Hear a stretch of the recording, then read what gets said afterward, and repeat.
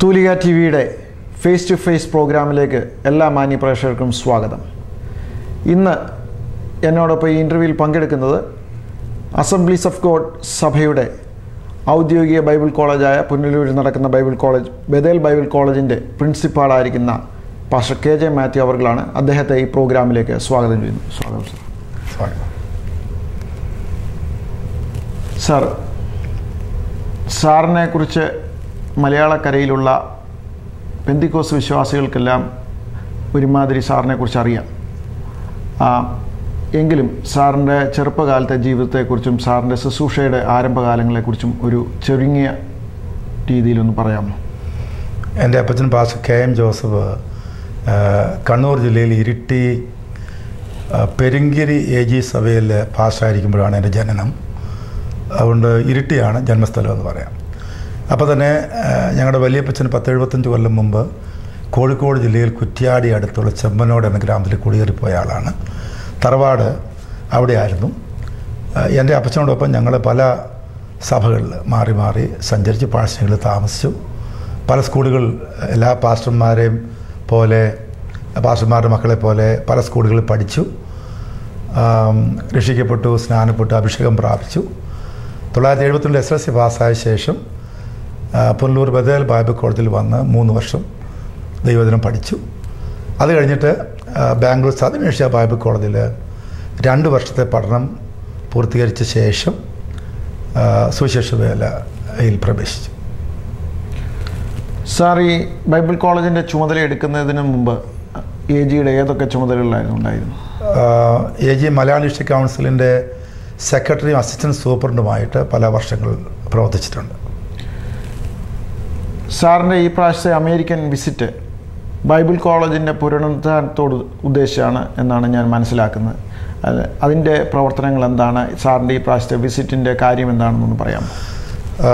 Bible college തൊള്ളായിരത്തി ഇരുപത്തിയേഴിൽ മാവലിക്കര ആരംഭിച്ച സ്ഥാപനമാണ് ബഥേൽ ബൈബിൾ കോളേജ്.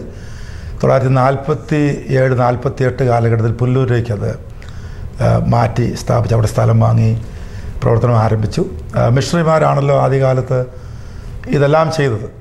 സ്ഥലം വാങ്ങാനുള്ള പണം ആദ്യകാല കെട്ടിടങ്ങൾ ഉണ്ടാക്കിയത് അവരാണ്. സായിപ്പ് തുടക്കക്കാരൻ ജോൺ എച്ച്. ബർജസ് സായിപ്പ്. ബദേൽ ക്യാമ്പസിൽ മരിച്ചടക്കപ്പെട്ട റോബർട്ട് ഷേവർ. പിന്നീട് രണ്ട് പ്രസിദ്ധരായ മിഷണറിമാർ ഗിൻ ഗ്രെയിനർ മതാവുമാരെന്ന് ഞങ്ങൾ വിളിക്കും. പാസ്റ്റർ ഇ എസ് സോർബോ അതുപോലെ ഏൾ സ്റ്റബ്സ് ഇങ്ങനെ മിഷണറിമാരുടെ തുടർച്ചയായ സംഭാവനകൾ സ്ഥാപനത്തിലുണ്ടായിരുന്നു. തൊള്ളായിരത്തി എഴുപത് എനിക്ക് എഴുപത്തി രണ്ടിൽ മിഷണറി സാന്നിധ്യം ഗണ്യമായിട്ട് നഷ്ടപ്പെട്ടു. ഓഫ് കോഴ്സ് ഇയാൾ സ്റ്റഫ് സാഹിബ് കുറേ കാലം തുടർന്നു. അല്ല അദ്ദേഹം വൈകി വന്നു തൊള്ളായിരത്തി എഴുപത്തൊമ്പതിൽ അദ്ദേഹവും ആ സ്ഥാപനം വിട്ട് ഹൈദരാബാദിലേക്ക് പോവുകയുണ്ടായി. അതിനുശേഷം മിഷണറിമാർ തീരെ ആ നിലയ്ക്ക് ബന്ധപ്പെട്ടിരുന്ന അപൂർവമായിട്ട് ഗ്രാജുവേഷനൊക്കെ അവർ വരും. ചെറിയ സഹായങ്ങൾ ഉണ്ടാകാതിരുന്നിട്ടില്ല ബഹുമാനപ്പെട്ട ഫിലിപ്പ് സാറ് ഇരുപത്തഞ്ച് കൊല്ലം പ്രിൻസിപ്പളായിരുന്നു. കോളേജിനെ ഉന്നതങ്ങളിലേക്ക് അദ്ദേഹം നയിച്ചു. അതിനുശേഷം ഡോക്ടർ ടി പി വറീസ് നാല് കൊല്ലം തന്നെ കൊണ്ടാവുന്ന എല്ലാ നിലയിലും കോളേജിന് നേതൃത്വം കൊടുത്തു. അദ്ദേഹത്തിന്റെ റിട്ടയർമെന്റിന് ശേഷമാണ് ഞാൻ ഈ ചുമതലയിലേക്ക് വരാൻ ഞങ്ങളുടെ ബോർഡ് ഓഫ് ഡയറക്ടേഴ്സ് ആവശ്യപ്പെടുകയും ഞാൻ പ്രാർത്ഥനയോടെ അത് ചുമതലപ്പെടുകയും ചെയ്തത്. ഇപ്പോൾ കുറേ വർഷമായിട്ട് ഞങ്ങൾക്ക് വിദേശ സഹായം തീരെയില്ല. പ്രത്യേകിച്ച് അസംസ് ഗവൺമെന്റ് വേൾഡ് മിഷൻസിൽ നിന്ന് ഞാൻ തീരെയില്ലെന്ന് പറയുമ്പോൾ ഒരു വർഷം ഒരു ലക്ഷത്തി ചില്ലുവാനും രൂപ ലഭിക്കുന്ന പോലെ ഒരു ചെറിയ ഫണ്ട് ചെറിയൊരു തുകയാണ്. അതൊഴിച്ച് വേറെ വിദേശ ബന്ധം ആ നിലയ്ക്കില്ല.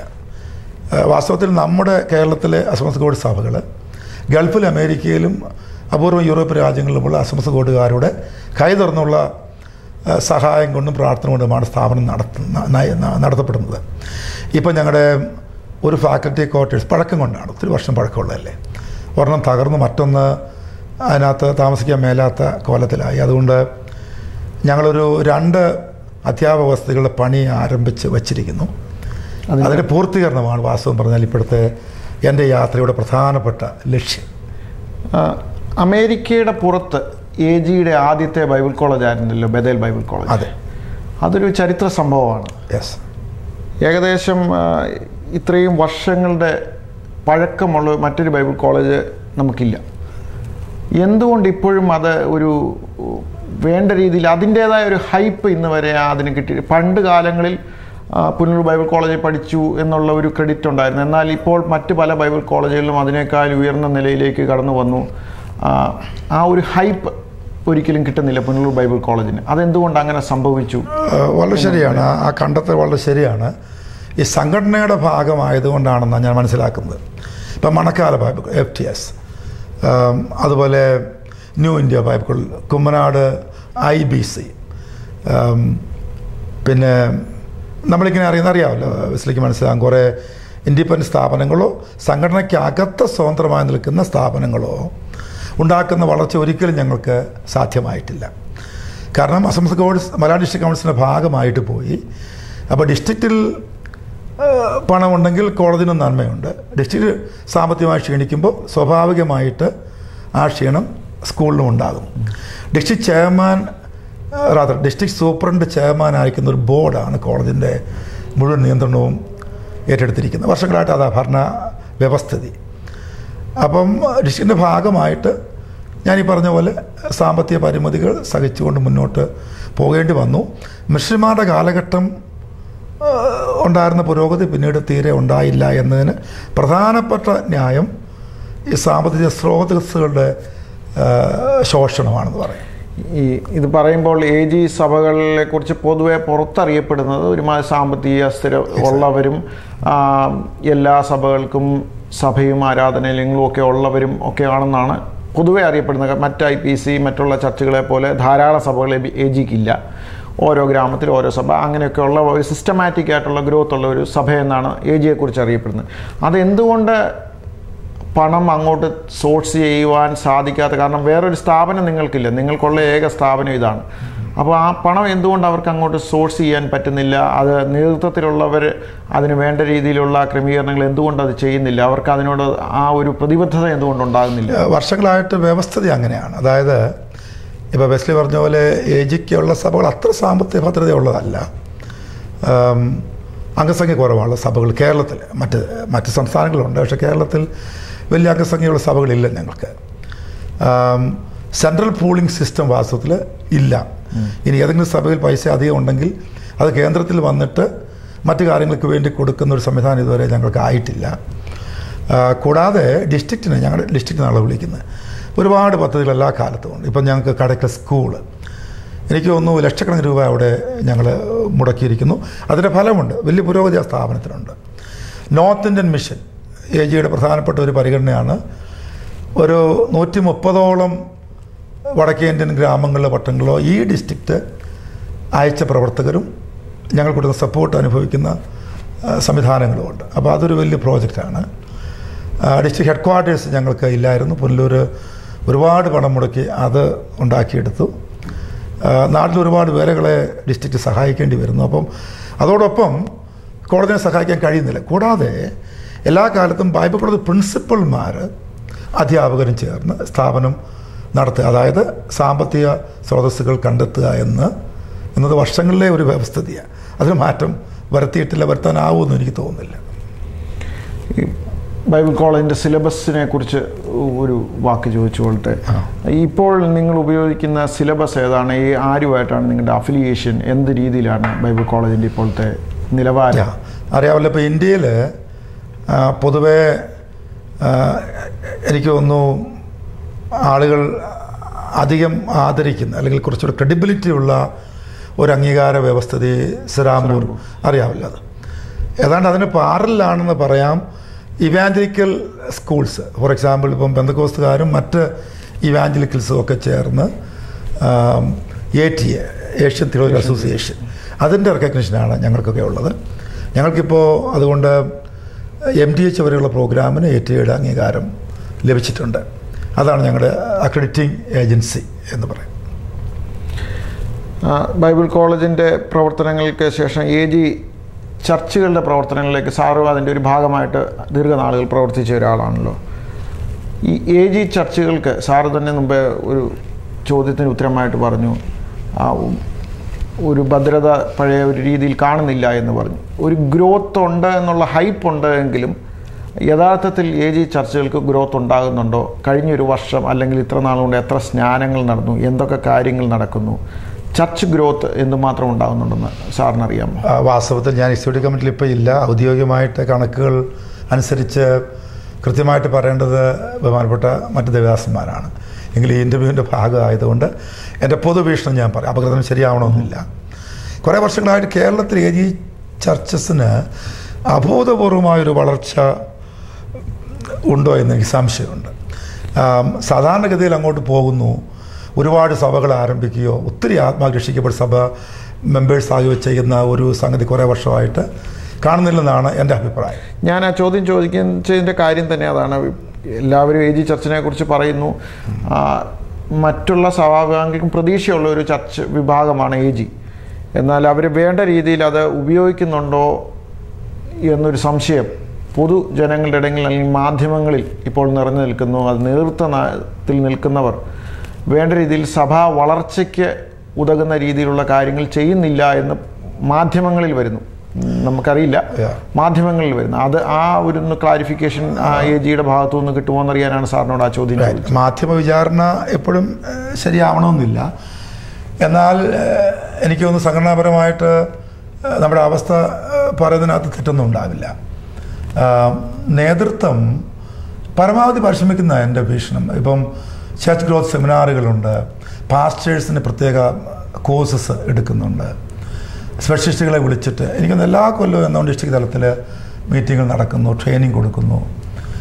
എല്ലാ പ്രസംഗങ്ങളിലും മിഷൻസ് ഊന്നി അല്ലെങ്കിൽ മിഷൻ എംഫസിസ് ഉണ്ട്. അപ്പോൾ ഡിസ്ട്രിക്റ്റിന്റെ ഭാഗത്ത് നിന്ന് ലീഡർഷിപ്പിൽ നിന്ന് പരമാവധി എൻകറേജ്മെന്റ് ഉണ്ടെന്ന് തന്നെ എന്റെ ഭീഷണം. പക്ഷേ എന്തുകൊണ്ടോ വെസ്ലി പറഞ്ഞ പോലെ അത് ആളുകൾ ഏറ്റെടുക്കുകയോ പ്രാവർത്തികമാക്കുകയോ ചെയ്യാത്ത ഒരു ദുരവസ്ഥയുണ്ട്.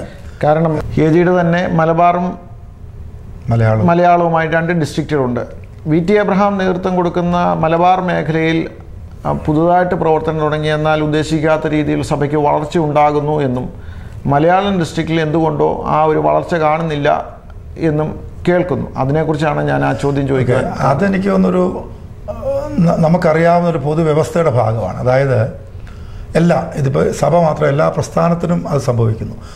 അതായത് ഇവിടെ ഇത്രയും കൊല്ലത്തെ പഴക്കമുണ്ടല്ലോ. അസംസ്കൃത ഗവൺമെന്റ് ഇത്രയും വർഷത്തെ പഴക്കം മലയാളം മലബാറിനും തത്തുല്യമായ പഴക്കം വേണമെങ്കിൽ അവകാശപ്പെടാമെങ്കിലും ഡിവിഷന് ശേഷം ഇത്രയും വർഷങ്ങളായിട്ടുള്ളൂ. അപ്പോൾ ആ വിഭജനം വിഭജനത്തോട് വ്യക്തിപരമായിട്ട് യോജിക്കാത്ത ഒരു മലബാറുകാരനാണ് ഞാൻ അന്നും ഇന്നും. എന്നാൽ വെസ്ലി പറഞ്ഞ പോലെ വളർച്ചയുടെ ഭാഗം നിഷേധിക്കാൻ ഞാൻ ആളല്ല. ഒന്നിച്ച് നിൽക്കാൻ നല്ലതെന്നും ഞാൻ ഇന്ന് അഭിപ്രായപ്പെടുന്ന ആളാണ്. പക്ഷേ ഐഡന്റിറ്റി ഉണ്ടാക്കുന്ന ഒരു വളർച്ചാ സാധ്യത. പ്രവർത്തകർക്കുണ്ടാകുന്ന ഒരു ആവേശം. അത് മലബാറിൽ വളരെ വ്യക്തമാണ്. അതുകൊണ്ട് മലബാറിന് നല്ല വളർച്ചയുണ്ട്. ഞങ്ങളൊക്കെ ചെറുപ്പത്തിൽ സഞ്ചരിച്ച അസാധ്യമെന്ന് എന്റെ പിതാക്കനും എന്റെ ഫാദറും ഒക്കെ വിചാരിച്ച തനി ഹിന്ദു മേഖലകളിൽ നല്ല ചെറുപ്പക്കാർ പോയി ധീരോദാത്തമായി പ്രവർത്തിച്ച് ധാരാളം ഹൈന്ദവരെ നേടി. ഞാൻ പറഞ്ഞത് നമുക്ക് മുമ്പ് ചിന്തിക്കാനാവാത്ത മേഖല മലബാർ ഏജിക്ക് ഗംഭീര വളർച്ച ഉണ്ടാകുന്നു. അത് ഞാൻ നിഷേധിക്കുന്നില്ല. ഞങ്ങളുടെ മലയാള വിഷയ കൗൺസിലിന്റെ ആ പഴക്കം ഉണ്ടാക്കിയ ഒരു നിശ്ചേതനത്വമോ ഒരു ആലസ്യമോ ആവാം. അത് കുടഞ്ഞൊഴിഞ്ഞാൽ രക്ഷപ്പെടുമെന്ന് എന്റെ വിശ്വാസം. അത് കുടഞ്ഞൊഴിയാൻ സാധാരണ പോലുള്ളവരെ നേതൃത്വത്തിലേക്ക് വരട്ടെ എന്ന് ഞാനും ആശംസിക്കുന്നു. നമ്മൾ സംസാരിച്ചുകൊണ്ടിരുന്നപ്പോൾ കടക്കൽ സ്കൂളിനെക്കുറിച്ച് സാർ ഒരു വാക്ക് പറയുകയുണ്ടായി. വളരെ നല്ലൊരു കാര്യമാണ് ഈ പെന്തിക്കോസ് സഭകൾ മറ്റ് സ്കൂളുകൾ മറ്റ് ആതുര സ്ഥാപനങ്ങളൊക്കെ തുടങ്ങുന്ന വളരെ നല്ല ഒരു കാര്യമാണ്. ഞാനതിനെ അങ്ങേയറ്റം പ്രോത്സാഹിപ്പിക്കുന്നു. അങ്ങനെയുള്ള കാര്യങ്ങൾ നമ്മൾ പണ്ടേ ചെയ്യേണ്ടതായിരുന്നു. നമുക്ക് പറ്റിയ പരാജയങ്ങളിലൊന്നാണത്. എന്നാൽ ഈ കടക്കൽ സ്കൂളിനെ കുറിച്ച് ധാരാളം ആരോപണങ്ങൾ കേട്ടിട്ടുണ്ട്. എ ജിയുടെ സൂപ്രണ്ടിനെ കുറിച്ചും കടക്കൽ സ്കൂളിന്റെ പിരിവിനെക്കുറിച്ചും മറ്റു കാര്യങ്ങളെക്കുറിച്ചും ഒക്കെ ഉണ്ട്. അതിന്റെ ഇപ്പോഴത്തെ സ്ഥിതി എന്താണ്? കടക്കൽ സ്കൂളിന്റെ സ്ഥിതിയെക്കുറിച്ചൊന്ന് പറയാമോ? കടക്കൽ സ്കൂളിനെ കുറിച്ച് ആരോപണങ്ങൾ കടമ്പില്ലെന്ന് തന്നെ എന്റെ അഭിപ്രായം. കാരണം പ്രസ്ഥാനത്തിന് അഭിമാനകരമാണ് കടക്ക സ്കൂൾ. ഞങ്ങളുടെ സോപ്പൺ ടീച്ചർ സാമ്പിൾ സാറിന്റെ ഗംഭീര പരിശ്രമമാണ് പ്രധാനമായിട്ടുണ്ടായിട്ടുള്ളത്. അതിന്റെ ബോർഡിലെ മെമ്പേഴ്സ് കോൺട്രിബ്യൂട്ടേഴ്സാണ് അവരെ അമേരിക്കയിൽ ഉള്ളവരാണ് കൂടുതലും മറ്റ് രാജ്യക്കാരും ഉണ്ട്. അപ്പം അവരുടെ സംഭാവനകൾ ഞാൻ മറക്കുന്നില്ല. എങ്കിൽ ഇനിഷ്യേറ്റീവ് സൂപ്പറിന്റെ ഭാഗത്തുണ്ടായിട്ടുള്ളതാണ്. നല്ല പുരോഗതി. ഇപ്പോൾ ഉയർന്ന ക്ലാസ്സുകൾക്ക് അംഗീകാരം. ഇൻഫ്രാസ്ട്രക്ചർ നന്നായിട്ട് നടന്നു. ഒരു ഇച്ചിരി അല്പം കൂടെ എനിക്കൊന്ന് പുരോഗമിക്കാനുണ്ടായിരിക്കാം. ഇങ്ങനെ കുറഞ്ഞ കാലം കൊണ്ട് നല്ല മുന്നേറ്റം അതിന് ഉണ്ടായിട്ടുണ്ട്. വിമർശനങ്ങൾ സംബന്ധിച്ച് ഏതൊക്കെ ഏറിയാണെന്ന് പിൻപോയിന്റ് ചെയ്യാമെങ്കിൽ എനിക്കറിയാവുന്ന കാര്യം എന്റെ സാമ്പത്തിക പിരിവുകളെ കുറിച്ചും അതിനോടുള്ള എനിക്ക് സാമ്പത്തിക വിഷയത്തിൽ കടക്ടർ സ്കൂൾ സംബന്ധിച്ച് എന്തെങ്കിലും പരാതി ഉണ്ടായിട്ടുണ്ടെങ്കിൽ അത് അടിസ്ഥാനരഹിതമാണ് ഞാൻ പറയേണ്ടി വരും. കാരണം ആ, അസംസ കോഡിൽ ബെസ്ലി ആ, മറ്റ് പ്രസ്ഥാനങ്ങളെ ഞാൻ ഒന്ന് അപമതിച്ച് പറയുകയല്ല. ആശംസ ഗോഡിൽ എളുപ്പമല്ല. സുതാര്യത അവിടുത്തെ ഡിമാൻഡാണ്. കൃത്യമായ ഓഡിറ്റിംഗ് സമ്പ്രദായമുണ്ട്. ഇന്റേണൽ ഓഡിറ്റിംഗ് ഉണ്ട്. മുഴുവൻ പണവും ഡിസ്ട്രിക്റ്റ് അക്കൗണ്ട് വഴി വന്നിട്ട് അങ്ങോട്ട് കൊടുക്കുന്ന സംവിധാനം തീർച്ചയായും. ഉള്ളൂ. അതുകൊണ്ട് ആർക്കെങ്കിലും അതിനകത്തൊരു തട്ടിപ്പ് നടത്താൻ പറ്റുമെന്ന് എനിക്ക് ഞങ്ങളുടെ വ്യവസ്ഥയിൽ തോന്നുന്നു തീർച്ചയായും. അതുകൊണ്ട് അതൊക്കെ കൃത്യമാണ് എന്റെ വിശ്വാസം. ഓക്കെ. അതുപോലെ തന്നെ കടക്കൽ സ്കൂളിന്റെ ബോർഡിൽ ടി ജെ സാറ് സ്ഥിരം ആജീവനാന്ത മെമ്പറാണെന്നും അതിന് എതിർപ്പുള്ളവരുണ്ട്. ഓരോ കാലങ്ങളനുസരിച്ച് വരുന്ന സൂപ്രണ്ടുമാരും മാറി വരണം എന്നുള്ള അഭിപ്രായങ്ങളുണ്ട്. അങ്ങനെയുള്ള എന്തെങ്കിലും ചിന്തകൾ നിങ്ങളുടെ മലയാളം ഡിസ്ട്രിക്റ്റിൽ അങ്ങനെ എന്തെങ്കിലും ഉണ്ടായിരുന്നു? വാസ്തവത്തിൽ അതിന്റെ ഭരണഘടന ഉണ്ടാക്കിയപ്പോൾ തന്നെ എനിക്ക് തോന്നി ഈ ഒരു സംവിധാനം വരുത്തിയിട്ടുണ്ട് എന്റെ അറിവിൽ അദ്ദേഹം ഫൗണ്ടിങ് മെമ്പർ എന്ന നിലയ്ക്ക് അല്ലെങ്കിൽ ഫൗണ്ടിങ് ചെയർമാൻ എന്ന നിലയ്ക്ക് എല്ലാ കാലത്തും സാറ് ഒരു ബോർഡ് മെമ്പർ ആയിരിക്കുന്ന സമയത്ത് വരുത്തിയിട്ടുണ്ട്. എന്നാൽ ചെയർമാൻ എപ്പോഴും സൂപ്രണ്ടാണ് വാസ്തു ചെയർമാൻ ആണല്ലോ കാര്യങ്ങളുടെ പൊതു അധികാരമുള്ളത്. അപ്പോൾ അതത് കാലത്ത് സൂപ്രണ്ടുമാരാണ് ചെയർമാൻ എന്നാൽ വൺ ഓഫ് ദ മെമ്പേഴ്സ് എന്ന നിലയിൽ ശമൽ സാറിന് ഒഴിവാകാൻ ആകാത്തതും ഒഴിവാക്കാനാവാത്തതുമായ ഒരു സംവിധാനം ഉണ്ടെന്നുള്ളത് ശരിയാണ്. തന്റെ ഇനിഷ്യേറ്റീവും ലീഡർഷിപ്പും താൻ ചെയ്ത സംഭാവനകളും അധികരിച്ചായിരിക്കണം ആ സംവിധാനം. തീർച്ചയായും അതൊരു നല്ല കാര്യമാണ്. ഞാൻ അതിനെ വിമർശിച്ചല്ല പറഞ്ഞത്. പലപ്പോഴും ഒരു സ്ഥാപനം ആരംഭിക്കുന്ന ആൾ കുറച്ച് കഴിയുമ്പോൾ ആ സ്ഥാപനത്തിലെ ആളല്ലാതായി മാറുന്ന ഒരു കാലം നമ്മളുടെ ഇടയിൽ ഉണ്ടായിട്ടുണ്ട്. അത് എ ജിയുടെ തീരുമാനമെന്തോ അതിനെ ഞാൻ അങ്ങേയറ്റം അംഗീകരിക്കുന്നു. ഒരിക്കലും ഞാൻ ടി ജി സാമുവൽ സാറിനെ വിമർശിച്ചല്ല ആ കാര്യം പറഞ്ഞത്. അങ്ങനെ ഒരു കേൾവിയുണ്ട്. ഒരു ആരോപണമുണ്ട് അദ്ദേഹം സ്ഥിരമായിട്ടിരിക്കുന്നു. അതിന് അഭിപ്രായ വ്യത്യാസമുള്ളവർ എന്നോട് സംസാരിച്ചിട്ടുണ്ട്. അപ്പോൾ ആ കാര്യം ഞാനൊന്ന് ഒന്ന് ചോദിച്ചു എന്നുള്ളതേ ഉള്ളൂ. അപ്പോൾ അതേസം അതോടൊപ്പം തന്നെ അടുത്ത ഒരു ചോദ്യം നമ്മുടെ എ ജി കേരളത്തിൽ ആരംഭിച്ചിട്ട് നൂറ് വർഷമായി എന്ന് പറഞ്ഞ് കഴിഞ്ഞ വർഷം ഒരു തിരുവനന്തപുരത്ത് ഒരു വർഷത്തെ ഒരു പ്രോഗ്രാം ലാസ്റ്റ് മീറ്റിംഗ് തിരുവനന്തപുരത്ത് നടത്തുകയും ഒക്കെ ചെയ്തു. എന്റെ അറിവനുസരിച്ച് ആയിരത്തി തൊള്ളായിരത്തി അൻപത്തി ഒന്നിലാണ് എ ജി രജിസ്റ്റർ ചെയ്ത് ആരംഭിച്ചത് ബോംബെയിൽ എന്നാണ് എന്റെ അറിവ്. തെറ്റാകാം. ചരിത്രപരമായിട്ട് എനിക്ക് അത്ര അറിയില്ല ആ കാര്യത്തെക്കുറിച്ച്.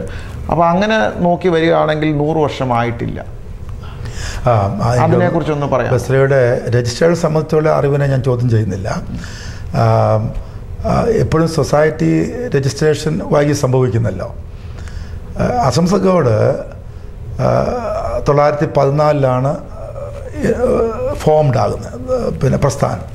തൊള്ളായിരത്തി പതിനഞ്ചിൽ തന്നെ മിസ്സിസ് മേരി ചാപ്മാൻ എന്ന മിഷണറി മദ്രാസിൽ എ ജിയുടെ മിഷണറി ആയിട്ട് വന്നു. അവർ അന്ന് മുതലേ കേരളത്തിൽ വന്ന് പ്രവർത്തനങ്ങൾ നടത്തിക്കൊണ്ടേയിരുന്നു.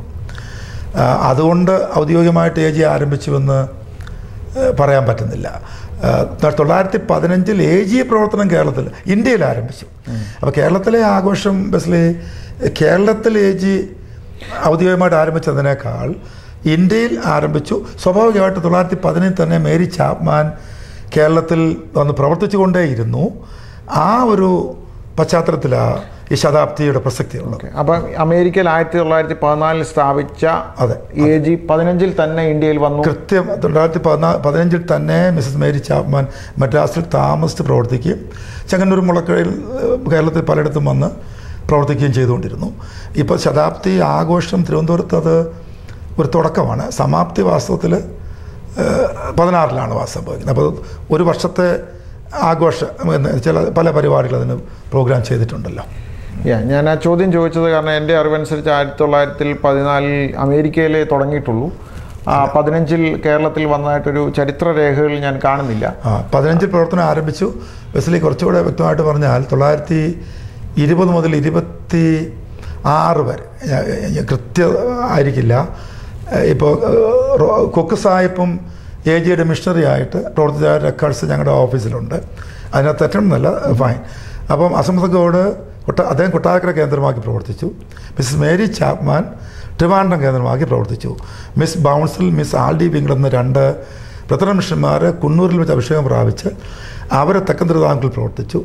മിസ് കുസാർ ഇവരാണ് ഒരുമിച്ചിട്ട് അപ്പോൾ അതെല്ലാം എ ജിയുടെ ബാനറിലാണ്. ഞാൻ ഈ പറഞ്ഞ തൊള്ളായിരത്തി ഇരുപത് മുതൽ ക്രമീകൃതമായിട്ട് എ ജി പ്രവർത്തനം കേരളത്തിൽ സംഘടിതമായും ആ മേൽവിലാസത്തിലും നടന്നു വന്നിരുന്നു. സംശയമില്ല. കാരണം ഞാൻ ചോദിച്ചതിന്റെ കാരണം ആ ആയിരത്തി തൊള്ളായിരത്തി മുപ്പത്തഞ്ചിൽ ഐ പി സിയുടെ പിറവി അങ്ങനെയൊക്കെയുള്ള കാലങ്ങൾ വരുമ്പോൾ കെ കെ എബ്രാം സാറും ഇവരെല്ലാം ഒരുമിച്ച് പ്രവർത്തിച്ചിരുന്ന ഒരു കാലമാണ് ഇതെല്ലാം. ഈ അവർ ബ്രദർ മിഷൻ മലങ്കര വന്നു മലങ്കര ഐ പി സി ഇങ്ങനെ പല സഭകൾ മാറി മാറി കെ എബ്രാം സാറിനെ പോലുള്ളവർ വന്നു. ആ ഒരു കാലത്തും കൂടെ കൂടിയാണ് ഈ എ ജിയുടെ സെന്റിനറി സെലിബ്രേഷൻ വന്നത്. അതുകൊണ്ട് എനിക്ക് അത്. കറക്റ്റായിട്ട് ഒരു നൂറ് വർഷം എന്ന് പറഞ്ഞ് നമുക്ക് ചെയ്യാൻ പറ്റുമോ എന്നുള്ള അതിനകത്ത് ഞാൻ പറഞ്ഞത് ബസ്ലി കർത്താവൻദാസൻ ഉണ്ണുണി സാറിൽ K. Abraham sir I P C അല്ലെങ്കിൽ വേർപാടിൽ വഴി ഐ പി സിയിലേക്ക് വരുന്ന ഘട്ടം മുതലാണ് തദ്ദേശീയ ലീഡർഷിപ്പ് അപ്പോൾ തദ്ദേശീയനായ ഒരു ബന്ധക്കോസ് നേതാവ് എന്ന നിലയ്ക്ക് കെ. എബ്രാം സാറിനെ നിശ്ചയമായി കരുതേണ്ടതാണ്. എന്നാൽ അസംസക് കോഡിൽ തദ്ദേശ നേതാക്കന്മാർ മുമ്പ് തന്നെ ഒരു മിഷണറി കാലഘട്ടം ഉണ്ടായിരുന്നു. ആ കാലഘട്ടം നയന്റീൻ ഫിഫ്റ്റീൻ മുതൽ നമ്മൾ അഭംഗുരം തുടർന്ന ഒരു പ്രവർത്തനം. അപ്പോൾ എ ജിയുടെ മേൽവിലാസം ഞാൻ പറഞ്ഞില്ല ഈ സിസ്റ്റർ എ ജിയുടെ ഒഫീഷ്യൽ മിഷണറിയാണ് തീർച്ചയായും. ആ. ഞാൻ അതിനെ അംഗീകരിക്കുന്നു. എ ജിയുടെ സഭകളുടെ വളർച്ചയെ കുറിച്ച് പറഞ്ഞു വരുമ്പോൾ തന്നെ ഈ ഇടയ്ക്ക് ഒരു പത്രത്തിൽ നമുക്ക് നമ്മുടെ ഒരു സ്നേഹിതന്റെ ഒരു പത്രത്തിൽ ഒരു പേജ് നിറയെ അങ്കമാലി സഭയെക്കുറിച്ച് വളരെ വിശദമായിട്ട് എഴുതുകയും അങ്കമാലി ചർച്ചിൽ എന്തൊക്കെ കാര്യങ്ങൾ സംഭവം ഞാനിപ്പോൾ അതെല്ലാം കൂടി എടുത്ത് വീണ്ടും ഒരു വിചാരണയ്ക്ക് ഞാൻ തയ്യാറില്ല. അവിടെ ചില പ്രശ്നങ്ങളുണ്ടായെന്നും ആ സഭ പണിയുവാൻ സൂപ്രണ്ട് സമ്മതിച്ചില്ല അല്ലെങ്കിൽ മറ്റുള്ളവർ സമ്മതിച്ചില്ല എ ജിയുടെ നേതൃത്വങ്ങൾ അതിന് എതിര് നിന്നു എന്നൊക്കെ പറഞ്ഞ് ഒരു വളരെ ഒരു ഒരു ഏകദേശം ഒരു പേജ് നിറയെ എഴുതിയിരുന്നു. അത് നിങ്ങൾക്ക് നിഷേധിക്കാം ശരിയല്ലായിരിക്കാം എനിക്കറിയില്ല. അതിൽ സാർ ഒഫീഷ്യൽ ഒരാളല്ല എങ്കിലും സാറിന് അതിനെക്കുറിച്ച് ചില കാര്യങ്ങൾ അറിയാമായിരിക്കുമല്ലോ സാറിന് അതിനെക്കുറിച്ചൊന്ന് പറയാൻ പറ്റുമോ? ഞാൻ കേട്ടറിഞ്ഞ കാര്യങ്ങളായി പറഞ്ഞു അസംസ് ഗവൺമെന്റുള്ള ബന്ധത്തിൽ വിശ്വസനീയമായ കേന്ദ്രങ്ങളിൽ നിന്ന് അറിഞ്ഞ കാര്യങ്ങൾ ഞാൻ പറയാം. ഞങ്ങളുടെ വ്യവസ്ഥ എല്ലാ സഭാ വസ്തുക്കളും കെട്ടിടങ്ങളും ഡിസ്ട്രിക്റ്റിന്റെ വകയാണ്. രജിസ്റ്റർ ചെയ്യുന്ന അങ്ങനെ വ്യക്തികൾക്ക് അറിയാമല്ലോ ഏജിയിൽ അത് പറ്റില്ല.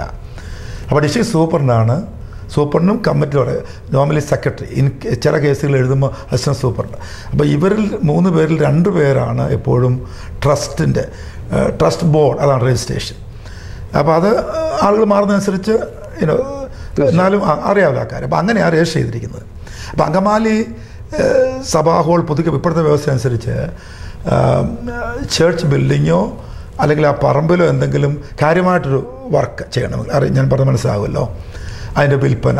ഏതാ വിൽപ്പനയാകട്ടെ വാങ്ങലാകട്ടെ മേജർ റിപ്പയറിങ് ഏതാ ഒരു ഏരിയ ഒക്കെ പൊളിച്ച് കളഞ്ഞ് അങ്ങനെയുള്ളതാകട്ടെ പുതുക്കിപ്പണിയിൽ ആകട്ടെ സമ്പൂർണമായിട്ട് അത് പൊളിച്ച് പണിയാകട്ടെ ഇതിനെല്ലാം ഡിസ്ട്രിക്റ്റിൽ ആപ്ലിക്കേഷൻ ചേർച്ച് കൊടുത്ത് പെർമിഷൻ മേടിക്കണം. ഒരു പുതിയ ബിൽഡിംഗ് വെക്കണമെങ്കിൽ അതിന്റെ പ്ലാൻ ഡിസ്ട്രിക്റ്റിൽ കൊടുത്ത് അപ്രൂവ് ചെയ്യണമെന്നാണ്. കാരണം മറ്റൊന്നുമല്ല പലയിടത്തും പണി അങ്ങോട്ട് തുടങ്ങിയ ഒരു ആവേശത്തിൽ പിന്നെ വർഷങ്ങളോളം വെറുതെ അവിടെ ഇട്ട് ആരാധിക്കാൻ കഴിയാതെ വാടകയ്ക്ക് നടക്കുന്ന വ്യവസ്ഥ കണ്ടതുകൊണ്ട് പ്ലാനും അതിന്റെ സോഴ്സും നിങ്ങൾ എങ്ങനെ ഇത് ഉണ്ടാക്കുമെന്ന് ഡിസ്ട്രിക്ട് കമ്മിറ്റി ബോധ്യപ്പെടുത്തിയിട്ട് അപ്രൂവ് ചെയ്ത് അപ്രൂവൽ വാങ്ങിയിട്ട് പണിയാവുന്നത് അവിടുത്തെ നിയമമായതുകൊണ്ട് അതാണ് ഇവിടുത്തെ ഇഷ്യൂ അങ്കമാലി സഭയുടെയും അവിടുത്തെ ജനങ്ങൾ ഇപ്പം കാശൊന്നും ഡിസ്ട്രിക്ട് കാര്യമായിട്ട് കൊടുക്കാറില്ല അതിനുള്ള പൈസയില്ല. അങ്കമാലിക്കാർ റേസ് ചെയ്യണം അതാണ്. അവർ ഇനിഷ്യേറ്റീവിനെ ഞാൻ ബഹുമാനിക്കുന്നു. സഭയുടെ കഷ്ടപ്പാടും അവർക്കുണ്ടാകാവുന്ന ബന്ധപ്പാടും അറിയാം. എന്നാൽ ചെറിയൊരു സാങ്കേതിക പ്രശ്നം ഉണ്ടായത് ഡിസ്ട്രിക്റ്റിന്റെ നിയമങ്ങൾ കൃത്യമായിട്ട് പാലിക്കാൻ കഴിഞ്ഞില്ല. അങ്ങനെ വന്നപ്പോൾ ഡിസ്ട്രിക്ട് കേന്ദ്രത്തിൽ നിന്ന് അനുവാ അനുമതി ഇല്ലാതെയാണ് ഇത് പണിയുന്നതെന്ന് ബന്ധപ്പെട്ട സർക്കാർ സ്ഥാപനങ്ങൾ അറി അവർക്ക് അറിവുണ്ടാകേണ്ടി വന്നു. അത് നിമിത്തം അവരുടെ അനുവാദം ഇല്ലാതായി ഞങ്ങൾക്ക് അതാണ് അങ്കമാലിൽ ഉണ്ടാക്കിയ മനപ്രയാസം. അവർക്കുണ്ടാകാനുള്ള മനപ്രയാസം എനിക്ക് മനസ്സിലാകും സംശയമില്ല. എന്റെ വീക്ഷണം സർക്കാർ ഓഫീസുകളിലേക്കും മാധ്യമങ്ങളിലേക്കും പൊതുജന സമൂഹത്തിലേക്കും ഇമാതിരി കാര്യങ്ങൾ നയിക്കപ്പെട്ടതിൽ എനിക്ക് ദുഃഖമുണ്ട്. അത് പാടില്ലായിരുന്നു ഞാൻ വിശ്വസിക്കുന്നു. ഞാൻ ഈ ഈ ചോദ്യം ചോദിക്കുന്നതിന് മുമ്പ് ഞാൻ അതിനെക്കുറിച്ച് ഒന്ന് രണ്ട് വ്യക്തികളുമായി സംസാരിച്ചു. ആ സഭയുടെ സെക്രട്ടറി ആയിട്ട് ഞാൻ സംസാരിച്ചു. അവരെന്നോട് പറഞ്ഞത് കാരണം എനിക്ക് എ ജിയുടെ ഒഫീഷ്യലായിട്ടുള്ള മറ്റൊരാളിൽ നിന്ന് എനിക്ക് ചോദ്യം ഇപ്പോൾ ചോദിക്കാൻ തക്ക സാഹചര്യം ഞാൻ ഈ രാജ്യത്താണ്. എനിക്ക് അത് സാഹചര്യമില്ല. അതുകൊണ്ടാണ് ഞാൻ സാറിനോട് ഈ ചോദ്യം ചോദിച്ചത്. അല്ലെങ്കിൽ സാറിനോടല്ല ഈ ചോദ്യം ചോദിക്കേണ്ടത്. എ ജിയിൽ നിന്ന് ഈ വസ്തുവിൽ പണികൾ നടത്താനോ അല്ലാതെ അതിന്റെ ഏതെങ്കിലും കാര്യങ്ങൾ ചെയ്യാനുള്ള മുക്തിയാർ അവർക്ക് ലഭി കൊടുത്തിട്ടുണ്ടായിരുന്നു. എ ജി ഡിസ്ട്രിക്റ്റിൽ നിന്ന് അവർക്ക് കൊടുത്തു അവർ അപേക്ഷ കൊടുത്തു അതിന് അനുവാദം കൊടുത്തു. എല്ലാ സൗകര്യങ്ങളും അവർക്ക് ചെയ്തു കൊടുത്തിരുന്നു. എന്നാൽ ഒരു പ്രത്യേക വ്യക്തിയെ അതിന്റെ കല്ലിടിയിൽ കർമ്മത്തിനും വിളിക്കാത്തതിന്റെ ഏക കാരണം കൊണ്ടാണ് എന്നാണ് അവർ പറയുന്നത്. ഈ സംഭവത്തെക്കുറിച്ച് സാറിന് എന്തെങ്കിലും അറിയാമോ? എനിക്ക് തോന്നുന്നു ഞങ്ങളുടെ സൂപ്രണ്ട് അസിസ്റ്റന്റ് സൂപ്രണ്ട് അമേരിക്കയിൽ ഇപ്പോൾ സഞ്ചരിക്കുന്നുണ്ട്. അവരോട് ബസ്സിലേക്ക് ഔദ്യോഗികമായിട്ട് ചോദിക്കാവുന്നതാണ്. എങ്കിലും കേട്ട് വെച്ച് ഞാൻ പറയുന്നു ഒരിക്കലും മുക്തിയാർ മുക്തിയാർ കൊടുക്കുന്ന വ്യവസ്ഥ എ ജിയിലുണ്ട് മുക്തിയാർ കൊടുത്തിരിക്കെങ്കിൽ പിന്നെ കല്ലിടാൻ സമ്മതിക്കാത്ത എനിക്ക് തോന്നുന്നില്ല. ഞങ്ങളുടെ ലീഡേഴ്സ് ആ മട്ടിൽ പ്രതികരിക്കും ഞാൻ എനിക്കറിയില്ല വിശ്വസിക്കുന്നില്ല. ഞാൻ പക്ഷേ എന്നോട് അവർ പറഞ്ഞ ചോദ്യമാണ്. ഞാൻ അതുകൊണ്ട് അത് സാറിനോട് കൂടാതെ എനിക്കറിയാൻ മേലാത്തൊരു കാര്യത്തിൽ എനിക്കും ദീർഘദൂരം സംസാരിക്കാൻ സാധ്യത ഒരു കല്ലിടൽ ചെറിയ കാര്യമാണ് എന്നാൽ ഹോഡ് ഡെഡിക്കേറ്റ് ചെയ്യുമ്പോൾ നല്ലൊരു സൂപ്പർമാരെ വിളിക്കുന്ന ഒരു കീഴ്വഴക്കമുണ്ട്. അത് ചെയ്യാതിരുന്നാൽ ചിലപ്പോൾ ഒരു വിഷമം ഉണ്ടായേക്കാം. കല്ലിടൽ എനിക്ക് തോന്നുന്നില്ല. അല്ലെങ്കിൽ ഞങ്ങൾ ലീഡേഴ്സ് അങ്ങനെയുള്ള കാര്യങ്ങൾ മുക്തിയാർ കൊടുത്തെങ്കിൽ പിന്നെ ഇതൊന്നും പറയാൻ അവർക്ക് പറ്റുമെന്നോ അവരങ്ങനെ പറയുകയെന്നു എന്റെ വിശ്വാസം. തീർച്ചയായിട്ടും. നമുക്ക് അതേക്കുറിച്ച് എനിക്കും നമ്മൾ രണ്ടുപേരും അതിനെക്കുറിച്ച് അറിവില്ല. എങ്കിലും ആ ചോദ്യം അവിടെ നിൽക്കട്ടെ. എന്തെങ്കിലും ഒരു കാലത്ത് എ ജിയുടെ ഒരു ഒഫീഷ്യലായിട്ടുള്ള ഒരാൾ ഡാളസിൽ വരുമ്പോൾ ഞാൻ ആ ചോദ്യം ചോദിക്കുന്നതായിരിക്കും. അതോടൊപ്പം തന്നെ നമ്മൾ ഈ സംസാരിച്ചുകൊണ്ടിരുന്നപ്പോൾ തന്നെ നമ്മൾ സംസാരിച്ചല്ലോ സഹോദരന്മാരിൽ നിന്നാണ് പണങ്ങൾ കൂടുതലായും വരുന്ന വിദേശ രാജ്യങ്ങളിൽ നിന്നല്ല എ ജിയുടെ ഫണ്ടാണ് ഉപയോഗിക്കുന്നത്. പക്ഷേ എ ജിയുടെ ഒരു നിലകളിലും സഹോദരന്മാരൊരു ഉയർന്ന സ്ഥാനങ്ങളിലേക്ക് വരുന്നത് കാണുന്നില്ല. ഒരു നാ അഞ്ച് പേരുടെ ഭരണസമിതി അതിനെ നിയന്ത്രിക്കുന്ന ഒന്നോ രണ്ടോ പേർ. ഇങ്ങനെയുള്ള ഒരു സംവിധാനം മാത്രമേ ഈ ജിയിലുള്ളൂ ഒരു പക്ഷേ അത് നല്ലതായിരിക്കാം. അല്ലെന്നല്ല ഞാൻ പറഞ്ഞു പക്ഷേ അതിനൊരു വ്യത്യാസം ഈവൻ ചർച്ച് ഓഫ് ഗോഡിൽ പോലും അങ്ങനെ ഒരു ഒരു വേർതിരിവുണ്ടായിരുന്നു. എന്നാൽ ഇപ്പോൾ കാലാന്തരത്തിൽ കാര്യങ്ങൾ മാറി വരുന്നു. അവിടെയും സഹോദരന്മാരുടെ ഇൻവോൾവ്മെന്റ് പണം വേണം അധ്വാനിക്കണം എല്ലാ കാര്യങ്ങളും സഹോദരന്മാർ ചെയ്യണം. ഒരു അതിന് ഒരു മേൽനോട്ടം വഹിക്കാൻ പോലുമുള്ള ഒരു അവകാശം സഹോദരന്മാർക്കില്ലാതെ വരുന്നത് ദുഃഖകരമായ ഒരു കാര്യമല്ലേ? അതിൽ താങ്കളുടെ അഭിപ്രായം അസംസ ഗോഡിൽ ഇപ്പം ഞങ്ങൾ എസ് ഐ ജിയോട് ബന്ധപ്പെട്ട് നിൽക്കുന്നു. ഞങ്ങളുടെ ഭരണഘടന എസ് ഐ ജിയുടെയും ഓൾ ഇന്ത്യ എ ജിയുടെ in line with those constitution അപ്പോൾ അതാണല്ലോ ഞങ്ങളുടെ വ്യവസ്ഥിതി.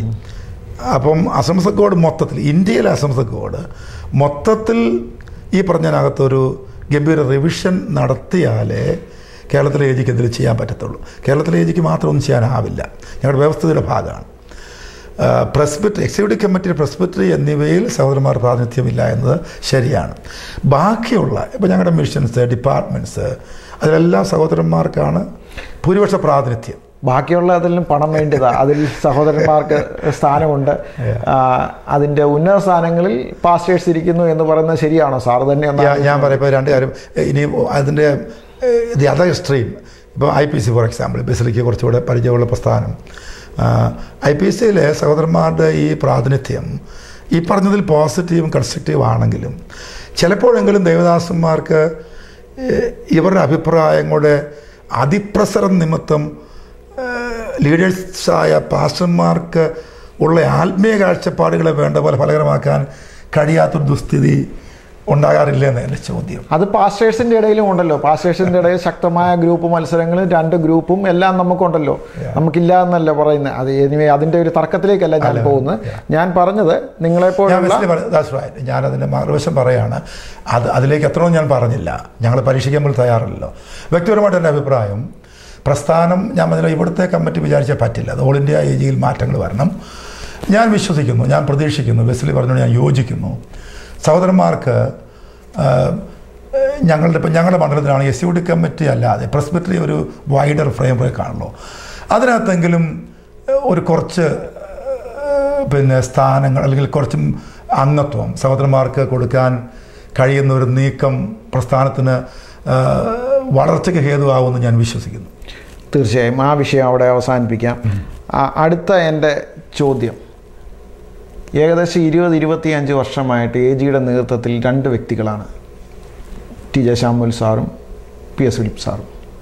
അവരുടെ കഴിവുകളെയോ അവരുടെ ഉന്നത സ്ഥാനങ്ങളെയോ അവരെയോ അപമാനിച്ചോ അല്ലെങ്കിൽ അവർക്ക് അവരെ താഴ്ത്തിക്കെട്ടിയ ഒരു വാക്കല്ല. പറഞ്ഞു അവർ രണ്ടും ഉന്നതരായ ദൈവദാസന്മാരാണ്. ഞങ്ങൾ അവരെ അങ്ങേയറ്റം ബഹുമാനിക്കുന്നു. എങ്കിലും ഇതിനൊരു വ്യത്യാസം എന്ന് ഏതിയിലുണ്ടാകും നിങ്ങളെപ്പോലെ പാസ്റ്ററിനെ പോലെയുള്ള അടുത്ത ഒരു ജനറേഷന് എന്ന് ഈ നേതൃത്വം കൈമാറും അല്ലെങ്കിൽ നിങ്ങൾ എന്ന് ഇതിന്റെ ചുമതലയിലേക്ക് വരും. ഇപ്പോൾ വെസ്ലി പരാമർശിച്ച ഞങ്ങളുടെ രണ്ട് ലീഡേഴ്സ്. ഈ പറഞ്ഞ പോലെ ശമ്പൽ സാറും ഫിലിപ്പ് സാറും. ഞങ്ങളൊക്കെ അധ്യാപകരും ഞങ്ങൾക്ക് എക്കാലത്തും ബഹുമാന്യരുമാണ്. ഞങ്ങൾ അവർ കൽപ്പിച്ചിട്ടുള്ള ആ ആദരവിന് അല്പം പോലും ഇടിച്ചിൽ ഉണ്ടാവില്ലെന്നാണ് ഞങ്ങളുടെ പ്രതീക്ഷ. എന്നാൽ ഇപ്പോൾ വെസ്ലി പറഞ്ഞ പോലെ തുടർച്ചയായിട്ട് അവർ രണ്ടുപേരും മാറി മാറി വരുന്നു എന്ന സംവിധാനവും. ആ മാറി മാറി വരവിന് വേണ്ടി വർഷങ്ങളിലൂടെ വളർത്തിയെടുക്കപ്പെട്ട അത്ര പോസിറ്റീവ് അല്ലാത്ത ഒരു സംസ്കാരവും. അസംസ് കുറിച്ച് വർഷങ്ങളായിട്ട് കേൾപ്പെടാതിരുന്ന സംഗതികളുടെ പ്രവേശനവും അതിന്റെ തുടർച്ചയും. അതിൽ ഞങ്ങൾ അഭിമാനിക്കുന്നില്ല. അത് ഒഴിവാക്കണമെന്ന് തന്നെയാണ് ഞാൻ വിശ്വസിക്കുന്നത്. ഇനിയും ഈ രണ്ട് ലീഡേഴ്സ് നേരത്തെ പറഞ്ഞാൽ അവർ പ്രാപ്തന്മാരാണ്. അവർക്ക് ഞാൻ പറഞ്ഞ മറ്റ് പ്രസ്ഥാനങ്ങളെ വെച്ച് നോക്കി അവർക്ക് പ്രായം താരതമ്യേന കുറവാണ്. രണ്ടുപേരും ഊർജസ്വലന്മാരാണ്. അവരുടെ കഴിവുകളെക്കുറിച്ച് ഞാൻ പറയേണ്ട കാര്യമില്ല. അപ്പോൾ അവരുടെ ലീഡർഷിപ്പ് കുറേ കാലം കൂടെ അവർക്ക് വലിയ കുഴപ്പമില്ല നടത്താൻ പറ്റിയേക്കുമെന്നാണ് പൊതുജനങ്ങൾക്കും പ്രത്യേകിച്ച് അവർക്കും ന്യായമായിട്ട് ഉറപ്പുള്ളത്. ആത്മധൈര്യമാണല്ലോ പ്രധാനം. എന്നാൽ വെസ്ലി പറഞ്ഞ പോലെ വർഷങ്ങളോളം ഒരേ സ്ഥാനത്ത് ആളുകൾ ഇരിക്കുന്നതുകൊണ്ടുണ്ടാകാവുന്ന ഒരു പ്രശ്നമുണ്ട്. അതെല്ലാ പ്രസ്ഥാനത്തിലുമുണ്ട്. ഏതാ ഇത് മാത്രമല്ല. അതിനൊരു മാറി പരീക്ഷണം തെറ്റില്ലെന്ന അഭിപ്രായക്കാരനാണ് ഞാൻ. ഇപ്പം ഞങ്ങൾക്ക് ഇപ്പം എന്റെയൊക്കെ ഈ കാറ്റഗറിക്ക് മുകളിൽ പ്രാപ്തന്മാരായ ചില സീനിയേഴ്സ് ഞങ്ങൾക്കുണ്ട്. ഞാൻ അവരാവാനല്ല എന്റെ മനസ്സിലേക്ക് ഓടി വരുന്ന പേരുകൾ ഇപ്പം T P Varghese sir Isaac B Mathew sir ഞാൻ അവരുടെ പേരുകളാണ് ഞാൻ എക്സാക്ട് ബാബു ജോർജ് പ്രായം കൊണ്ട് എനിക്ക് തുല്യനാണെങ്കിലും കഴിവുകൊണ്ട് അദ്ദേഹം കുറേ കൂടെ മുകളിലാണെന്ന് എനിക്ക് കാലം തോന്നിയിട്ടുണ്ട്. അദ്ദേഹത്തിന് എ ജി സമൂഹത്തിന് വേണ്ടി ഉന്നതമായ ഒത്തിരി ചിന്തകളും ആശയങ്ങളും ഉണ്ട്. ഫണ്ട് റേസ് ചെയ്യാൻ കഴിവുള്ള ആളാണ്. അപ്പം ഞാൻ പറയുകയാണ് ഇങ്ങനെ കുറേ പേര് ഞങ്ങളുടെ സമൂഹത്തിലുണ്ട്. വ്യക്തിപരമായി പറഞ്ഞ ബസ്സിൽ ഇപ്പോൾ എനിക്കുള്ള ഉത്തരവാദിത്വം ഉണ്ടല്ലോ. അത് ഞാൻ ഇതുവരെ എടുത്തതിൽ ഏറ്റവും വലിയ ഉത്തരവാദിത്വം ആയതുകൊണ്ട്. കർത്താവ് സഹായിച്ചാൽ ആയുസ് ഉണ്ടെങ്കിൽ മൂന്നാൽ കൊല്ലം അത് ഒന്ന് നന്നായി നടത്താനാണ് എന്റെ കമ്മിറ്റ്മെന്റ് അപ്പോൾ ഞാനിപ്പം ചിത്രത്തിൽ ഇല്ലെന്നാണ് ഞാൻ ഏറ്റു പറയുന്നത് ചിത്രത്തിലുണ്ടോ ഇല്ലയോ എന്നുള്ളതിൽ കൂടുതൽ എന്റെ ഒരു ചോദ്യം ഞാൻ ഐസക് മാത് സാറിനെ പോലുള്ള ബഹുമാന്യ ദേവദാസന്മാരെയൊക്കെ ഉദ്ദേ- എന്റെ മനസ്സിൽ ഉദ്ദേശിച്ചുകൊണ്ടാണ് ഞാൻ പറഞ്ഞത്. സാറൊക്കെ വളരെ ആക്റ്റീവായിട്ട് വന്നിട്ട് പെട്ടെന്ന് അവർ ചിത്രത്തിൽ നിന്ന് അപ്രത്യക്ഷമായ പോലെ ഒരു തോന്നലുണ്ടായി. അദ്ദേഹം എനിക്ക് തോന്നുന്നത് സെക്രട്ടറി ആയിട്ട് പ്രവർത്തിക്കുന്നു അതൊക്കെ എനിക്കറിയാം. എങ്കിലും എസ് ഐ ജിയുടെ സെക്രട്ടറി ആയിട്ട് പ്രവർത്തിക്കുന്നു എങ്കിലും കേരളത്തിന്റെ ചരിത്രത്തിൽ നിന്ന് അദ്ദേഹം മാറിപ്പോയ പോലെ ഒരു തോന്നൽ ഉണ്ടായി. കഴിവുള്ള ദേവദാസനും ഈ പറയപ്പെട്ട ദേവദാസന്മാരും മറ്റ് ദൈവ സാറിനെ പോലുള്ളവർ ഞങ്ങൾ പലപ്പോഴും മാധ്യമത്തിലുള്ളവരോ അല്ലെങ്കിൽ മറ്റ് രീതിയിൽ പ്രവർത്തിക്കുന്നവരോ പല ആൾക്കാരുമായിട്ട് സംസാരിക്കുമ്പോൾ സാറിന്റെ പേര് ഐസക് ഇമാ സാറിന്റെ പേര് ഇങ്ങനെയുള്ള പല പേരുകൾ ഞങ്ങൾ കേൾക്കുന്നത്. നിങ്ങൾ ഒരിക്കലും നേർത്ത സ്ഥാനങ്ങളിൽ വരുന്നില്ല. നിങ്ങൾ വരുന്നു അസിസ്റ്റന്റ് സൂപ്രണ്ട് ആകുന്നു തിരിച്ചു പോകുന്നു പിന്നെ അഞ്ചാറ് വർഷത്തേക്ക് നിങ്ങളെ കാണുന്നില്ല. അതിനൊരു വ്യത്യാസം എ ജിയിൽ ഉണ്ടാകുമോ? ഗ്രൂപ്പില്ല എന്നൊന്നും പറഞ്ഞാൽ ഞാൻ വിശ്വസിക്കത്തില്ല. ഐ പി സിയിലുള്ള അത്രയും ശക്തമായ ഗ്രൂപ്പില്ലെങ്കിലും നിങ്ങളുടെ ഇടയിൽ അഭിപ്രായ വ്യത്യാസങ്ങളുണ്ട്. രണ്ട് ദൈവദാസന്മാരുണ്ട്. അവരുടെ നേതൃത്വത്തെ ഞങ്ങൾ അംഗീകരിക്കുന്നു. എങ്കിൽ ഇതിനൊരു വ്യത്യാസം എന്നുണ്ടാകും എന്നാണ് സാറിന്റെ ഒരു പ്രതീക്ഷ. യാ പിന്നെ ചേർത്ത് പറഞ്ഞ ഗ്രൂപ്പ് എന്ന ഏർപ്പാട് കുറയ്ക്കാനും ഇല്ലാതാക്കാനും എന്നും ആഗ്രഹിച്ച് പ്രാർത്ഥിക്കുന്ന കുറേ പേരിൽ ഒരാളാണ് ഞാനെന്നും എനിക്ക് അഭിമാനത്തോടെ പറയാം. അതായിരിക്കും ഇവിടുത്തെ ഏറ്റവും വലിയ പരിഹാരം ബസ്ലി ഞങ്ങളുടെ ഈ രണ്ട് ലീഡേഴ്സ് ഈ ഗ്രൂപ്പ് വളർച്ചയെ അവരെ കൊണ്ട് ആവും വിധം ശാസിക്കുകയോ അമർത്തുകയോ വെറുക്കുകയോ ചെയ്തിട്ട്. അസംസ്കോട് നിന്ന് ഉണ്ടാകാവുന്ന വലിയ വളർച്ചയ്ക്ക് അടിസ്ഥാന അടിസ്ഥാന ദർശനം എന്റെ വീക്ഷണത്തിൽ ഞങ്ങളുടെ ലീഡേഴ്സ് വെസ്ലി പറഞ്ഞ അവരോട് ബന്ധപ്പെട്ടെന്ന് പറയാവുന്ന ഇമാതിരി കുറേ സംഗതികളെയും വ്യക്തികളെയും അകലം പാലിച്ച് നിർത്തിയിട്ട് അവർ ശക്തമായിട്ട് ഒന്ന് ഏകാഭിപ്രായത്തോടെ അങ്ങനെ അല്ലെന്നല്ല പ്രവർത്തിച്ച് അപ്പം ഞാൻ കുറേ അകലേക്ക് കുറേ ആൾക്കാർക്ക് ഒരു വ്യത്യസ്തമായ വീക്ഷണമായിരിക്കാം. അപ്പോൾ തന്നെ ഒരു വലിയ മാറ്റം അസംസ് കൊണ്ട് ഉണ്ടായേക്കാം. രണ്ട് ലീഡർഷിപ്പിൽ കുറേ വർഷങ്ങൾ ഇരുന്ന് കഴിവ് തെളിയിച്ചവരാണ് അവർ നല്ല ശക്തന്മാരാണ്. അവർ പ്രസ്ഥാനത്ത് എന്തെല്ലാം സംഭാവനകൾ ചെയ്തു. എന്നതുകൊണ്ട് എല്ലാ കാലത്തും അവർ രണ്ടുപേരെ ആയിരിക്കണമെന്ന് നിർബന്ധം എനിക്കുമില്ല ഈ പറഞ്ഞ പോലെ ഏതെങ്കിലും സമയത്ത് ഒരു മത്സരത്തിന് ഇട കൊടുക്കാതെ ഏതാ സൗരന്മാരെ ഞാൻ കുറേ വർഷം പ്രവർത്തിച്ച് പ്രസ്ഥാനത്ത് ഞാൻ എല്ലാ സംഭാവനകളും ചെയ്തു. ഇനിയും നിങ്ങളുടെ നിന്ന് ഞാൻ പ്രവർത്തിക്കാം. മറ്റാൾ രംഗത്ത് വരട്ടെ എന്ന് പറയേണ്ടത് അവരാണെന്നാണ് എന്റെ വീക്ഷണം. വേറെ ആരുമല്ല പറയേണ്ടത്. ഞങ്ങൾക്ക് ആർക്കെങ്കിലും ഞാൻ വ്യക്തിപരമായിട്ട് പറഞ്ഞാൽ അവർക്കെതിരെ ഒരു മത്സരം എന്നൊക്കെ ഞാൻ ഊഹിക്കാൻ മേലാത്ത കാര്യമാണ് അപ്പം അവർക്ക് ഞങ്ങൾക്ക് ഇടയ്ക്കുള്ള ആളുകൾ ഞാൻ പറഞ്ഞല്ലോ. അത്രക്കാർക്കാണ് യുനോ അവരാണ് ഇനി അടുത്ത രംഗത്തേക്ക് വരേണ്ടവർ അങ്ങനെയുള്ള വരണമെങ്കിൽ വാസ്തവത്തിൽ ഞങ്ങളെപ്പോഴും പറഞ്ഞ മറുപടി ഞങ്ങളുടെ ഇലക്ഷനാണല്ലോ വെസ്ലി ജനത്തിന് വേണമെങ്കിൽ ആരെ ആക്കാമല്ലോ? കേരളത്തിൽ അത് സാധിക്കും. അപ്പം ജനമെല്ലാം ഉദാ ശമൽ സാറും ഫിലിപ്പ് സാറും തന്നെ ആവട്ടെ എന്ന് പറഞ്ഞാൽ ജനാധിപത്യ വ്യവസ്ഥയിൽ വേറെ എന്തിനാ പ്രസക്തി? അത് ന്യായമായിട്ട് അവർക്കും ലീഡേഴ്സിനും ചോദിക്കാം. ഞങ്ങൾക്കും ചോദിക്കാമല്ലോ. ആ വ്യവസ്ഥ ഒരു കാൻഡിഡേറ്റ് വരുന്നില്ല. അതാണ് ഞാൻ ചോദിച്ചതിന്റെ ചോദ്യം. തീരെ അപൂർവമായിട്ടേ വരുന്നുള്ളൂ. അപൂർവം വളരെ വളരെ അപൂർവമായിട്ട് എത്രയോ നാളുകളായിട്ട് ഇലക്ഷൻ ഇല്ല. നമ്മൾ മാധ്യമങ്ങൾ പറയും ഞങ്ങളുടെ ഇടയിൽ ഇലക്ഷൻ ഇല്ല എന്ന് പറയും. ഇലക്ഷൻ ഇല്ലാത്ത ഒരാൾ ഈ കൊല്ലം കയറി അടുത്ത ആൾ മറ്റേ കൊല്ലം കയറുന്ന അതുകൊണ്ട് ഇലക്ഷൻ ഇല്ല എന്നാണ് നമുക്ക് മനസ്സിലാക്കാൻ ഇലക്ഷൻ ഇല്ല എന്നൊരു നല്ല കാര്യം നമ്മളെക്കുറിച്ച് പറയുന്നുണ്ടെങ്കിലും അതിന്റെ റീസൺ ബിഹൈൻഡ് ഇതാണ്. ഞാൻ ഈ കൊല്ലം അടുത്ത കൊല്ലം നീ. അത്രയേ ഉള്ളൂ. അങ്ങനെ ധാരണയിലൊന്നും അല്ല ബസ് ധാരണയിലല്ല. ഞാൻ ചോദിച്ചപ്പം എനിക്കൊന്ന് ഐഷ സാറും ടി പി വർഗീസ് സാറും ഒക്കെ സൂപ്പർ സ്ഥാനത്തേക്ക് നോമിനേറ്റ് ചെയ്യപ്പെട്ടിട്ടുണ്ട്. നോമിനേറ്റ് പറഞ്ഞാൽ. കുറച്ച് വോട്ട്. ഇപ്പം അത് അധികം രംഗത്ത് വരുന്നില്ല. എന്നാൽ കഴിഞ്ഞ കൊല്ലം ഉണ്ടായിട്ടുണ്ട്. കുറേ വോട്ടുകൾ വരുന്നുണ്ട്. അതിനപ്പുറത്തുള്ള ജനപിന്തുണ വേണമെങ്കിൽ ന്യായം ഞാൻ പറഞ്ഞ ന്യായത്തിന്റെ ഭാഗത്ത് നിന്ന് ചോദിക്കുകയാണ്. ജനങ്ങൾ വോട്ട് ചെയ്യണ്ടേ? ജനങ്ങൾക്ക് ഇദ്ദേഹത്തെ ലീഡറാക്കാം ഇപ്പം എന്റെ കാരണം പറയാം കെ ജെ മാത്യുവിനെ സൂപ്രണ്ടാക്കാമെന്ന് ജനങ്ങൾക്ക് തോന്നുന്ന പോലെ എന്റെ ഭാഗത്ത് കഴിവുകളോ ശുശ്രൂഷയോ തെളിയിക്കപ്പെടണം. അത് മനസ്സിലാക്കിയിട്ട് ജനങ്ങൾ വോട്ട് ചെയ്യാൻ ആരുടെയും സ്വാധീനം വേണ്ട. അവർ ചെയ്യുന്നില്ലെങ്കിൽ ചിലപ്പോൾ ഞങ്ങൾക്ക് അത്ര യോഗ്യത ഇല്ലെന്ന് വരില്ലേ? തീർച്ചയായും ജനങ്ങൾക്ക് അങ്ങനെ ഒരു തോന്നലുണ്ടാകട്ടെ നിങ്ങളെ പോലുള്ളവർ എ ജിയുടെ നേതൃത്വ നിലയിലേക്ക് കടന്നു വരട്ടെ. ഈ ഇതെല്ലാം നമ്മൾ സംസാരിക്കുമ്പോൾ ആ രണ്ട് ദേവദാസന്മാരെ വളരെയധികം ഞാൻ ബഹുമാനിക്കുകയും പ്രത്യേകിച്ച് എന്റെ പിതാവിന്റെ സ്നേഹിതരെന്നുള്ള നിലയിൽ ഞാൻ അവരെ ആദരിക്കുകയും ചെയ്യുന്നു. ഒരിക്കലും അവരെ അവരെ മാറ്റി നിർത്തിക്കൊണ്ടല്ല ഞാനിത് പറയുന്നത്. ഒരു വ്യത്യാസം വരണം എന്നുള്ള ഒരു അർത്ഥത്തിൽ ഞാൻ പറഞ്ഞു എന്നുള്ളതേ ഉള്ളൂ. ഏകദേശം നമ്മൾ ഇന്റർവ്യൂവിന്റെ അവസാന ഘട്ടത്തിലേക്ക് നമ്മൾ കടന്നു വരികയാണ്. വളരെ ജനകീയനായ ഒരു നേതാവ് എന്ന് തന്നെ ഞാൻ പറയും താങ്കളെക്കുറിച്ച്. വളരെ ആൾക്കാരുമായിട്ട് ബന്ധവും മറ്റ് സഭകളിലുള്ള പ്രിയപ്പെട്ടവരുമായിട്ട് വളരെ അടുത്ത് ഇടപഴകുകയും ഒക്കെ ചെയ്യുന്ന ഒരാളാണ് താങ്കൾ. പ്രത്യേകിച്ച് ഞാനും മാധ്യമ വിചാരം ഇങ്ങനെയുള്ള പല കാര്യങ്ങളിൽ കൂടെ നമ്മൾ ഒരുമിച്ച് പ്രവർത്തിച്ചിട്ടുണ്ട്. എ ജി തന്നെയല്ലാതെ മറ്റുള്ള സഭകളുമായിട്ട് വളരെയധികം സഹകരിച്ച് പ്രവർത്തിക്കുന്ന ഒരു മാന്യ കർത്തൃദാസനാണ് താങ്കൾ. താങ്കളുടെ ഈ വിജയത്തിന്റെ രഹസ്യം എന്താണ്? മറ്റുള്ള മാധ്യമങ്ങൾ മറ്റുള്ളവരുമൊക്കെ ആയിട്ട് താങ്കളുടെ ബന്ധം എങ്ങനെയാണ്? ഇതും കൂടെ ഒന്ന് പറഞ്ഞ് നമുക്കിത് അവസാനിപ്പിക്കാം. ഞാൻ എല്ലാ കാലത്തും അസംസ്കോടിന് അപ്പുറത്തേക്ക് മാറി ചിന്തിക്കാൻ ദൈവകൃപ പ്രാപിച്ചിരുന്നു. മലബാറിലെ ഞങ്ങളുടെ ജീവിതം ഞങ്ങളെ അങ്ങനെ പഠിപ്പിച്ചു എനിക്ക്. എന്റെ പിതാവിന്റെ ശുശ്രൂഷ. ഇതര ബന്ധങ്ങൾ രക്തബന്ധങ്ങൾക്കപ്പുറം. ഞങ്ങൾ മലബാറുകാർക്ക് രക്തബന്ധങ്ങൾ അവിടെ കുറവല്ലേ? നാട്ടുകാർ എനിക്ക് തോന്നുന്നു പെന്തക്കോസിന് അപ്പുറത്തേക്ക് പോലും ഞങ്ങൾക്ക് ബന്ധങ്ങൾ ഉണ്ടാകേണ്ടി വരും ജീവിക്കാൻ വേണ്ടി. അപ്പം ഞങ്ങളുടെ ആ ആ ജീവിതത്തിന്റെ ആവശ്യകത അതെ അത് ഞങ്ങളെ കൊണ്ട് കുറച്ചുകൂടെ വൈഡറായിട്ട് ചിന്തിപ്പിച്ചു വിശാലമായി ഇടപെടാൻ ഞങ്ങളെ എന്തെങ്കിലും ഞങ്ങൾക്ക് ജീവിക്കാൻ പറ്റുള്ളായിരുന്നു അപ്പോൾ അതിന്റെ ഒരു ചെറിയ കോൺട്രിബ്യൂഷനുണ്ട് ഗോസ്ബൽ നാഷണൽ ഫെലോഷിപ്പിനെ കുറിച്ച് വെസ്ലി കേട്ടു തീർച്ചയായും. തുടക്കത്തിൽ ഞാൻ തുടക്കക്കാരിൽ ഇലേച്ചാനോടൊപ്പം ഞങ്ങൾ പതിനൊന്ന് പേര് ഒരുമിച്ച് ആരംഭിച്ചതാണ് അത് ഇന്റർ ഡിനോമിനേഷനാണല്ലോ അതുകൊണ്ട് എല്ലാ സഭകളിലും പോയി ആ വർക്കിനെ പരിചയപ്പെടുത്താനും ദേവദാസന്മാർ സഹായം സ്വീകരിക്കാൻ അവസരം ഉണ്ടായിട്ടുണ്ട്.